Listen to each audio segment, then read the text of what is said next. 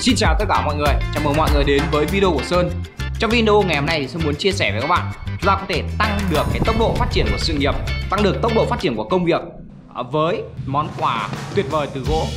Vậy thì để có thể biết được điều này hãy cùng xem hết video nhé. Đầu tiên chúng ta hãy đi tìm hiểu xem à, những món quà về gỗ à, đó là những có thể là những món quà gì à, nó có nhất định là phải những sản phẩm giá trị cao hay không. Đầu tiên chúng ta sẽ nói về à, các món quà về gỗ và gỗ là một trong những sản phẩm mà những người có tầm ảnh hưởng những người có vị thế trong xã hội rất yêu thích. À, họ yêu thích à, cái vẻ đẹp thuần khiết cái vẻ đẹp mà mộc mạc của gỗ. Và gỗ cũng là một trong những sản phẩm về tự nhiên và nó mang lại cái nguồn năng lượng rất là tự nhiên và sạch cho mọi người.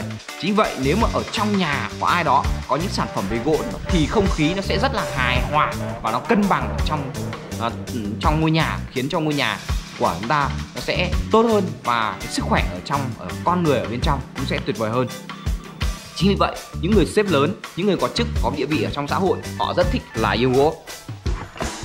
Vậy thì chúng ta uh, sẽ tặng họ những món quà để có thể uh, uh, chơi thân với họ để có thể có mối quan hệ tốt với họ giúp cho công việc của chúng ta phát triển một cách thuận lợi hơn giúp cho công việc kinh doanh sự nghiệp của chúng ta phát triển hơn.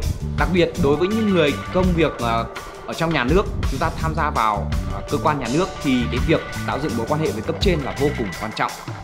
Vậy thì để làm sao chúng ta lựa chọn được những sản phẩm ờ, những cái món quà phù hợp với cấp trên? Điều đầu tiên chúng ta cần phải tìm hiểu đó là sở thích của cấp trên, họ yêu thích cái gì? Họ có yêu thích gỗ không? Nếu mà họ yêu thích gỗ thì đương nhiên là chúng ta sẽ tặng những sản phẩm về gỗ rồi. Điều thứ hai chúng ta cần phải tìm hiểu xem cái mức độ quan hệ mà chúng ta muốn xây dựng với họ như thế nào vì chúng ta muốn xây dựng với quan hệ với họ lâu dài chúng ta muốn xây dựng quan hệ với họ một cách đó là uh, chi tiết một cách đó là gắn kết một cách đó là thật là sâu sắc thì chúng ta cần phải tặng những món quà thực sự là họ yêu thích. Có rất nhiều anh chị tặng món quà tặng quà thì chúng ta cứ nghĩ là chúng ta sẽ tặng quà giá trị cao để mà lấy được lòng họ. Tuy nhiên điều này không phải mà cái điều quan trọng nhất ở trong việc tặng quà đó là chúng ta cần phải tặng đúng cái điểm mà người ta thích.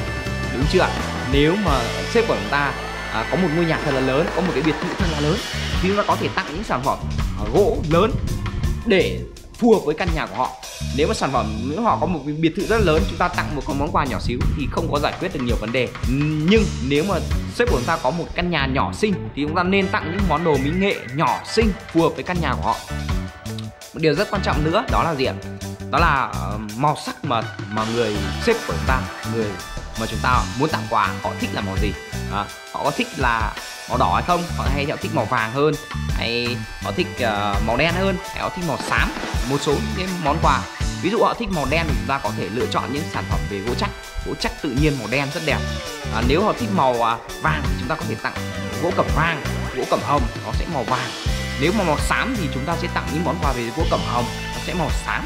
Còn nếu mà họ thích màu đỏ chúng ta sẽ tặng sập gỗ có đỏ bên trong này. Thì điều này cũng à, phù hợp với cái lối kiến trúc cũng như là phù hợp với cái sở thích của người tặng quà. Và tặng quà là một trong những cái hoạt động mà ý nghĩa cũng như là tạo dựng được cái mối quan hệ, gây dựng được lòng tin của cấp trên cũng như của bạn bè hay của khách hàng. Chính vì vậy, chúng ta có thể để ý thấy những người có tầm ảnh hưởng lớn như là các sếp các trưởng phòng bộ công an rất nhiều hầu hết ở trong nhà họ đều sở hữu những cái tấm sập hoặc những cái bộ sản phẩm về gỗ rất là khủng khiếp. Vì họ đã được cẩn như vậy. À, vậy thì tại sao chúng ta không làm điều này? Và nếu mà các bạn cảm thấy video này thú vị thì hãy cho sơn xin ý kiến và hãy comment góp ý ở bên dưới.